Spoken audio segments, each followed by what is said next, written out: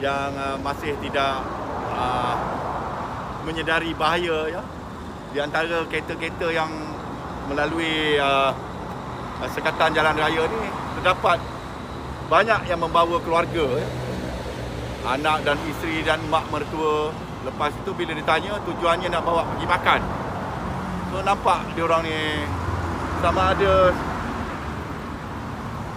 tak faham langsung ke ataupun memang dah memang degil uh, so inilah yang saya katakan uh, kumpulan inilah yang dikatakan masih lagi apa ni uh, menyebabkan uh, perintah ini seolah-olahnya tidak dihormati oleh apa ni. Kita lihat betapa panjangnya jam di belakang ini dan saya yakin sebahagian besarnya tidak mempunyai sebab yang sahih untuk mereka berada di jalan raya. Okay.